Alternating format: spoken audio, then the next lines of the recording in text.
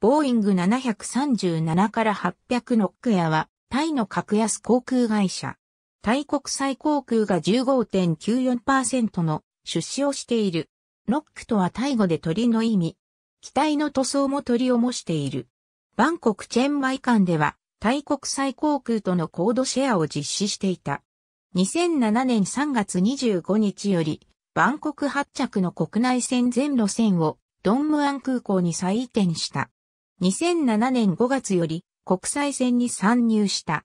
就航地は採算性の高いマカオを予定していたが、マカオ政府が難色を示した。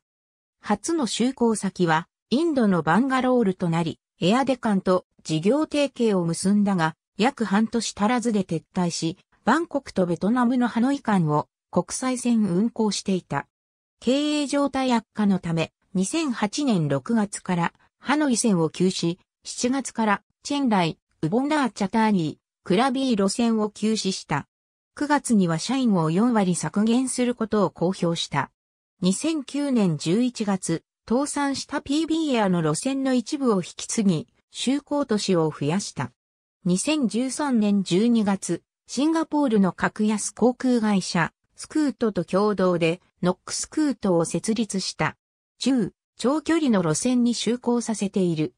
2019年12月、日本の国土交通省から外国人国際航空運送事業の経営許可を取得、12月18日より、バンコク広島間に就航させる。